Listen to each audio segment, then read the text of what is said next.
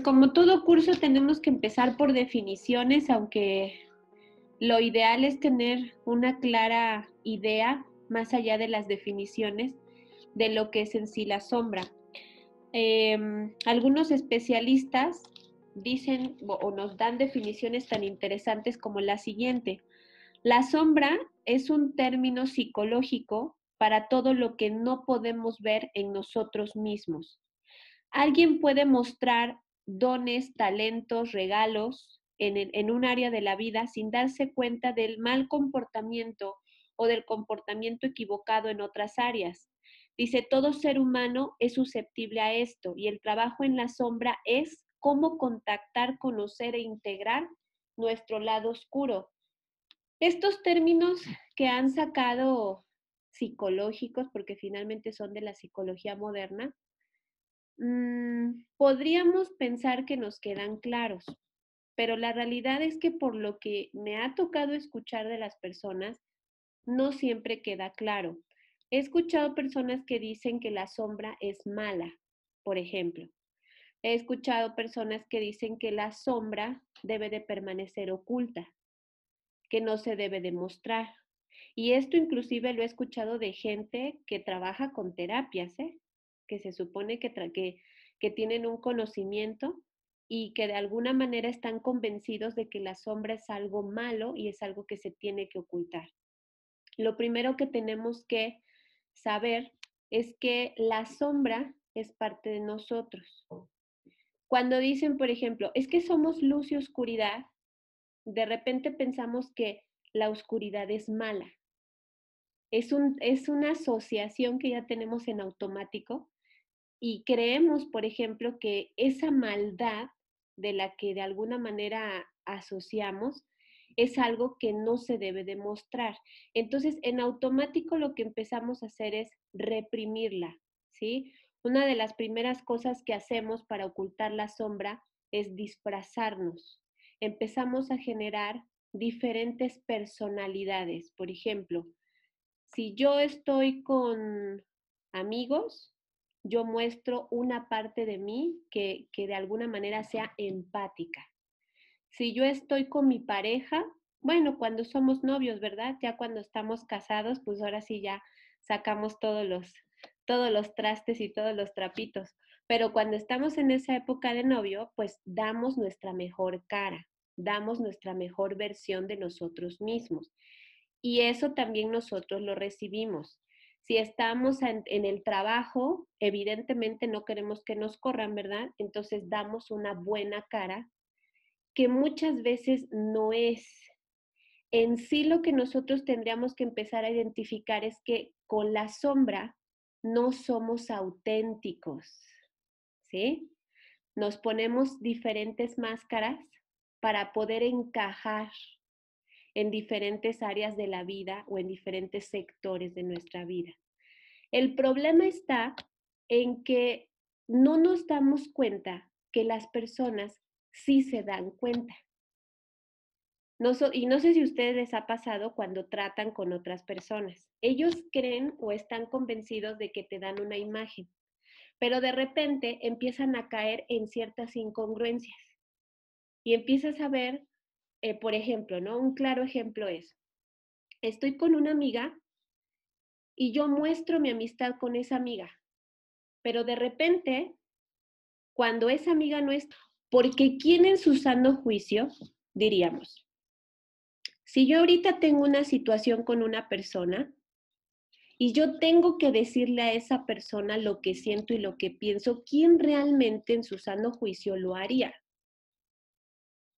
A lo mejor muy pocos, porque, híjole, es que se puede ofender, se puede molestar, me puede dejar de hablar, no vaya a ser que sea contraproducente. Y entonces empezamos a crear un montón de ideas que a final de cuentas hace que la sombra quede reprimida. También hay que entender que la sombra no significa que ya voy a ser entonces una persona cínica y que entonces vaya, ah, pues es que así soy, ¿no? Ya, pues entonces me vas a tener que aceptar así, porque así soy yo. No, tampoco se trata de eso. Mucha gente también cae en ese extremo de la sombra de decir, ah, no, pues es que como ya me reconozco y como ya me veo y como ya sé cómo soy, pues entonces ahora todo mundo que se friegue porque así soy yo. Y tampoco es. Es simplemente ir aprendiendo a conocernos, a saber por qué reaccionamos ante ciertas circunstancias, ante ciertas situaciones, y saber entonces de una manera asertiva cómo arreglarlo o cómo manejarlo sin dejar de ser auténticos. Formas de identificar cómo podríamos estar reprimiendo la sombra. Para este efecto, me gustaría que al estarles indicando las diferentes eh, formas de reprimir la sombra, ustedes a su vez puedan identificar con cuál de ellas creen que están cayendo en reprimir la sombra.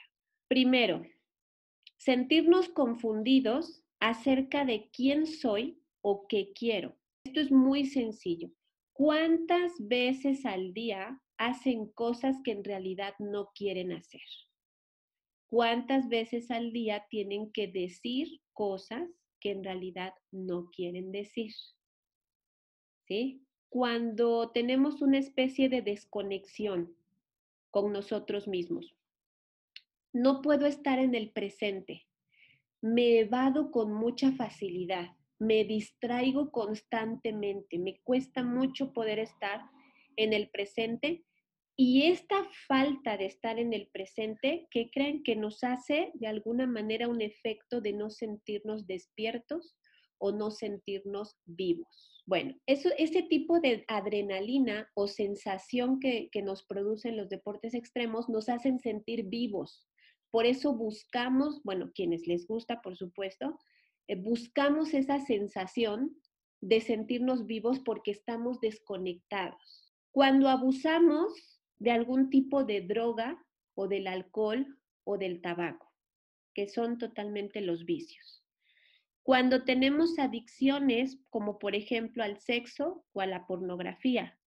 Cuando tenemos tendencias a ciertas perversiones sexuales, inclusive que nos exponen también a nosotros cuando conducimos con riesgo, cuando se callen infidelidades sexuales, cuando tenemos compras compulsivas, cuando comemos en exceso y cuando nos generamos algún tipo de violencia, todo tipo de violencia. En realidad es que la sombra está más presente de lo que nosotros nos podemos imaginar. Entonces, estas son algunas de las cosas con las cuales podemos identificar de cierta manera cómo nuestra sombra se está liberando, porque es una mentira que nosotros la tenemos oculta, más bien no la vemos o no la reconocemos, pero la sombra está saliendo todo el tiempo. ¿eh? Todas las conductas que nos, con las que nos hacemos daño, los intentos de suicidio, el sabotaje en todas las áreas de la vida, pero sobre todo cuando vemos el sabotaje en la vida laboral, cuando tenemos relaciones interpersonales que son insatisfactorias, llámese con amigos, con amigas, con familiares, este, con parejas, eh, son relaciones conflictivas.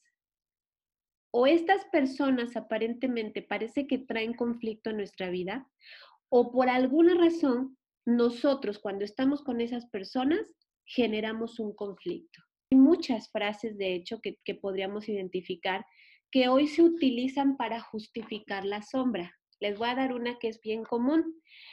Hay que alejarse de personas tóxicas. Y yo les pregunto, ¿y si en realidad los tóxicos somos nosotros? Porque siempre pensamos que son los demás, pero nunca volteamos a ver nuestra sombra, qué es lo que está haciendo. ¿cierto? El trabajo de la sombra es un trabajo que requiere mucha honestidad, pero tampoco tenemos que llegar al grado de la autoflagelación o de cargar con culpa. Simplemente tenemos que aceptar la realidad. Si nosotros consideramos que hay gente que está tóxica a nuestro alrededor, lo más seguro es que nosotros también somos tóxicos y por algo estamos atrayendo eso a nuestra vida.